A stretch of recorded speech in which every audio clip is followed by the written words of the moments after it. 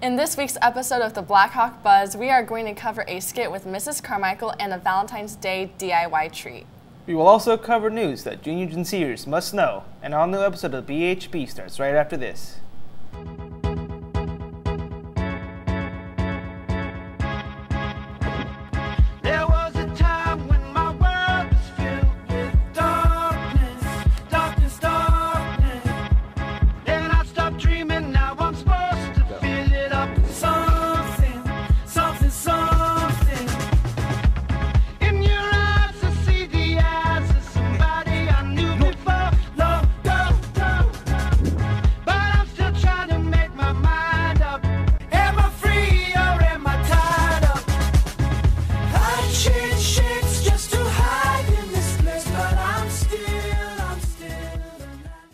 Morning, Blackhawks. I'm Melissa O'Donnell, And I'm Bailey Evangelista. and you're watching this week's episode of the Black Hawk Buzz. Let's head over to Joriel and Holly with a skit involving Mrs. Carmichael. Hi, my name's Mrs. Carmichael. And I'm Dr. Murphy. See, people seem to get us confused. We really want to clear that up we are two different people. with two different jobs. I am an assistant principal. And I'm a doctor. She isn't a real doctor. I am too a doctor. Whatever, I'm an assistant principal. I'm a counselor. I help students. She doesn't have a heart. Maybe some people think I have no heart, but yeah, okay, I agree. I have no heart. I help you when you and your friends are having trouble. I suspend you when you and your friends are in trouble. I'm more popular. Shut up! Then I'm Weston's mom. Well, if you're Weston's mom, I hope you packed him a good lunch. He's tough to please.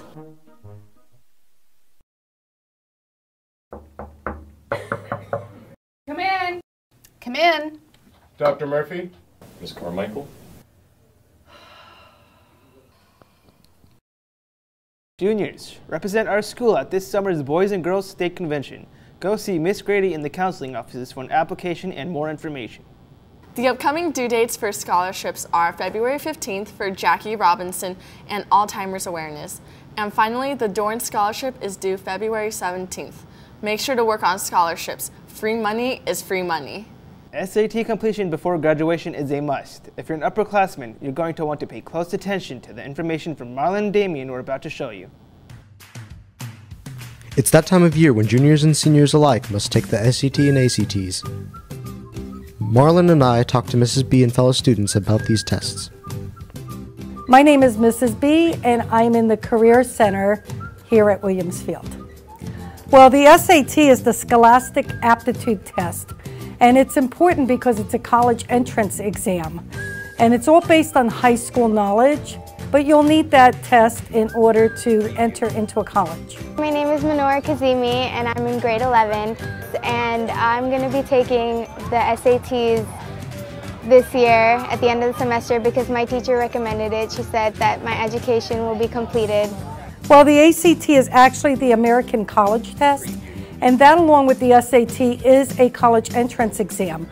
Once again, it's not college information that's on that exam, it is high school knowledge on that exam, and you'll need that exam to get into college. My name is Ariana Shea and I'm in 11th grade. The SATs and the ACTs can benefit uh, myself and others by making us go into better universities or colleges.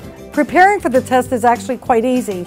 There's a number of boot camps that are available throughout this area, um, and they also have study guides, of which I have right here in the Career Center. There's online study guides also that are issued by these two test companies uh, that you can go on and get the information that you need. My name is Lorenzo Gonzalez and I'm a senior. I have taken the ACT and maybe in the near future I will take it again, but probably not.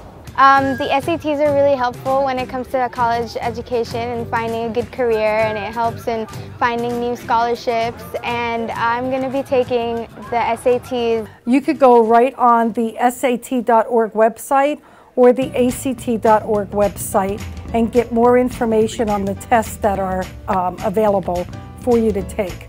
Uh, tests are held on Saturdays, and the fees and codes are all on their website. You will need to upload a photograph. Study as often as you can. Make sure you take all your notes and you study your notes.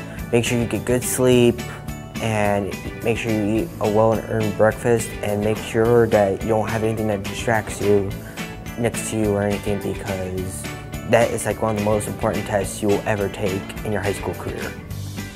We tallied upperclassmen on whether they are taking the SAT and ACT this year, and we presented to Mrs. B.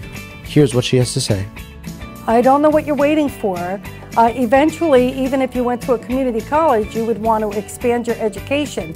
You're going to need these test scores to get in. So I can't stress how important it is for all juniors to take one of these tests, if not both, during your junior year, and then you have plenty of time during your senior year to retake it and get a higher score. I considered taking uh, both the SAT and the ACT um, just for my benefit of going into a better university. These tests, along with your unweighted GPA, can supply you with uh, a merit scholarship. Merit scholarships are typically handed out by probably 90% of the universities in the United States, and they range anywhere from 2,000 to 10,000 a year. So it's important to do your best on these tests. Make sure to sign up. This is Damien and Marlon. Now back to the studio. Today's the last chance for getting any bakery goods at the Blackhawk shop. Hurry before the day is over and all the goods are gone. Do you know your GPA? Colleges constantly look at GPAs, and you should be too. Here's Juan Doe and I with a story about your GPA. High school is a place for teenagers to let loose and enjoy themselves, but for some, it's a place to prepare for their future. We talked with some personnel here at Williams Field High School who have this kind of mindset. Hard work in school will set a better mindset for the future because there will be an early understanding of hard work and its value, especially in grades. Good grades will lead to success in your future. Having a high GPA can open up the doors for many scholarships uh, that hopefully you'll apply for, and also for colleges to look at you. You want to be challenging yourself in high school, and that GPA is going to count a lot. And doing all those things, so, I mean, when you're meant for the military, you're meant for the military. With straight A's, I believe that this will help me gain more scholarships when I apply for colleges, and this will eventually benefit me in getting a better job and becoming overall more successful. So during your freshman, sophomore, junior, senior year, just make sure that your grades are up where they should be. Uh, you know, ask for help if you need it, but make yourself marketable for the future. If you need any more information, go ask Miss B. This has been Twan and Bailey reporting for the Black Hawk Buzz. Now back to the studio. Final call for all dance auditions today in room 609 at 4 p.m.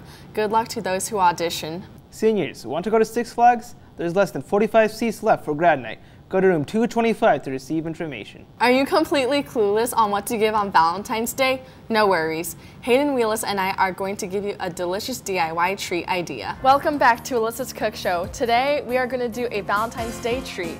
All you need are strawberry, vanilla, or chocolate wafers, bun-shaped sprinkles, icing or frosting, food coloring popsicle sticks, a plate or parchment paper, or a box to carry your treats. Unwrap the wafers and put them on a sterile surface. Grab your icing and put it onto a wafer. This treat is so fun and simple to make for anyone on Valentine's Day. Then add sprinkles.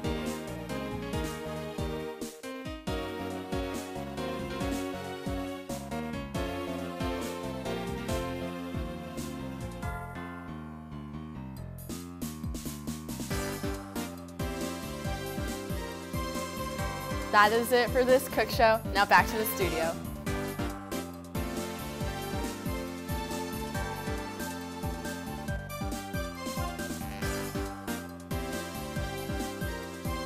Seniors, are you ready for graduation? I know I am.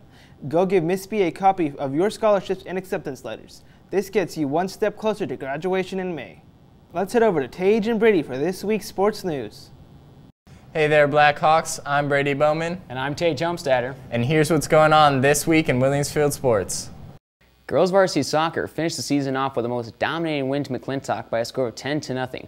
We congratulate them on finishing with an 11-5 and one tie record. Girls varsity basketball hit a tough skid these last two games, losing against both Skyline and Seton Catholic. They conclude the season tonight at Willow Canyon. Boys varsity basketball beat Notre Dame Prep last Thursday, but fell in a close game against Seton Catholic the following night. They too end their season at Willow Canyon tonight with tip-off at 7 o'clock. Now for the moment that no one has been waiting for, part two. Tage's one-on-one against Tati Brisbane, one of our girls varsity basketball players. Let's just say that this was not my finest hour. As expected, it ended terribly for Tage. Previously on the BHB.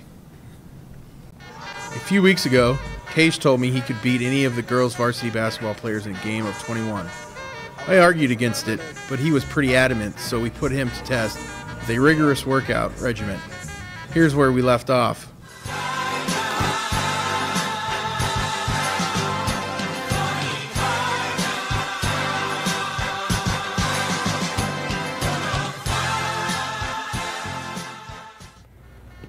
Well, I've trained you for about 30 seconds. How do you feel?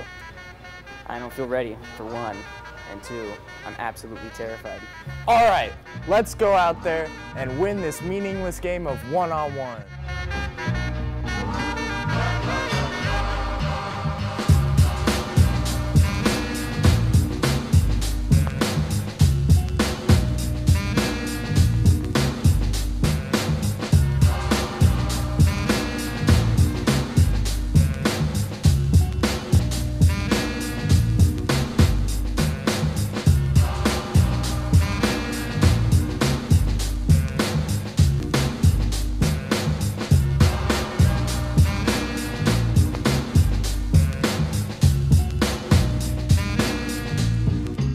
Is that sweat? Yes. Does it smell like sweat? I think that's water, Tage. I thought if I drank some water, I would play better, but I kept having these pains in my side. Tage, those are called cramps. I'm disappointed in you. Maybe next time you should think before you speak. That's a wrap from us. We'll be back in two weeks to bring you the news and sports like always. Until next time. Adios, Williams Field. That's a wrap for this week's episode. I'm Bailey Evangelista. And I'm Melissa O'Donnell. Have a safe weekend, Blackhawks.